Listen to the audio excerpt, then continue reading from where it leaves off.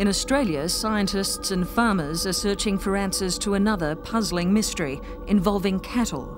Animal X went to take a look at the so-called magic cows.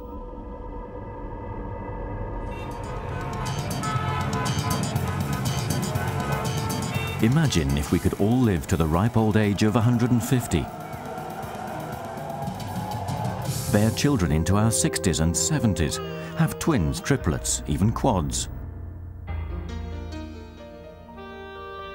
Now in Australia, discovering that magic elixir could be closer than we think, and the clues are coming from the most unlikely source.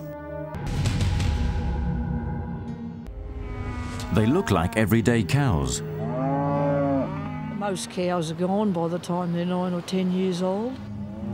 But Aussie farmer Wendy Haynes' daisies are definitely different. The oldest cow here at the moment's 22 years old.